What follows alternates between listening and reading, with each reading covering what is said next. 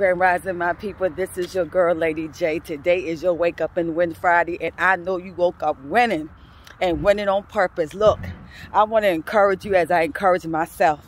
Look, it is time for you to move in a new direction, whether it be a new love, new friendship, new opportunities, new job, new self improvement whatever that new direction may be in your life, you need to move immediately into that new direction.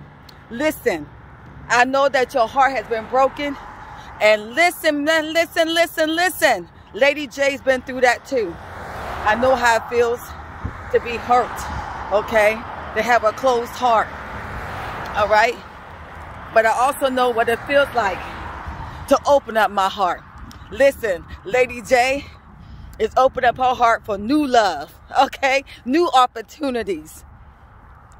Okay, so you got to be open for the new. See, many, many of us want new this and new that, but we're not willing to move in a new direction, new surroundings, new choice of friends, new mind, a new faith, a new hope. Come on now. We got to move into a new direction, that a new improved you, okay? That's what I'm all about. So let's get it. It's time to move. And it's time to improve. Okay?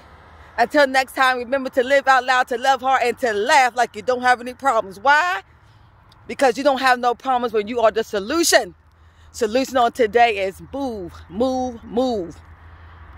Move into a new direction. You will be glad you did. And you will feel brand new. Till next time, know that Lady J loves you. Let's move together, okay?